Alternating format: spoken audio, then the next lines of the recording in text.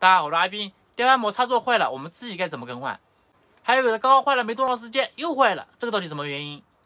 其实很简单，今天我来给大家分享一下。现在我就拿这两种电饭煲来跟大家说一下，这两种电饭煲啊，我们家里用的还是比较多的。首先我们看一下这个插座在什么位置。你看，一般的插座都在电饭煲的底部。首先我们来说一下自己怎么更换。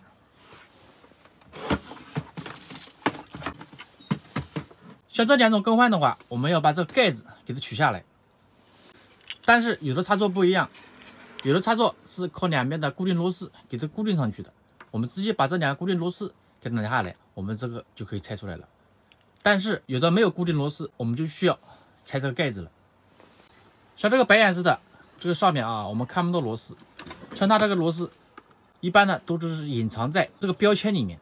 你们看，所以说这个电饭煲啊，应该是修过的。不然的话，这个标签是贴住的，我们看不着。我们首先把这个螺丝给它拆掉，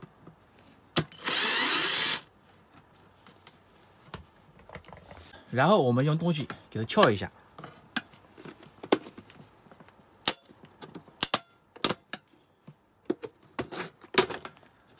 好，这就拿出来了。然后我们就可以看到这个插座了。其实这个插座更换起来是非常简单的，这两边没有固定螺丝，所以说它这边都采取卡扣式的。我们只要把这两边给它拉开一点，然后往上提，好，这就拿下来了。然后我们想更换的话，把这个插头给它拔掉。有的这个插头啊，这里有一个小弹簧。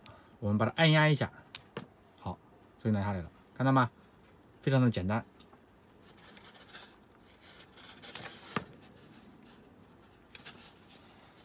这样就可以了。然后我们找个一模一样的，给它更换上去就行了。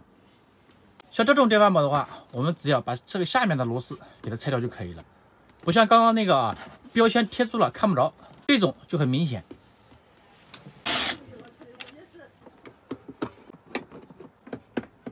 螺丝拆完了，然后我们在这个壳子上面撬一下，好了，这就拆下来了。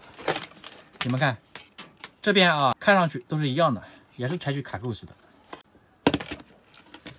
好，这样就下来了。这边原理都是一样的，也是一个小弹簧，我们按压一下就拿出来了。如果不按压的话，就会很紧啊。所以说，我们想更换的话，再找一个新的插插座上来，然后这样给它安装好，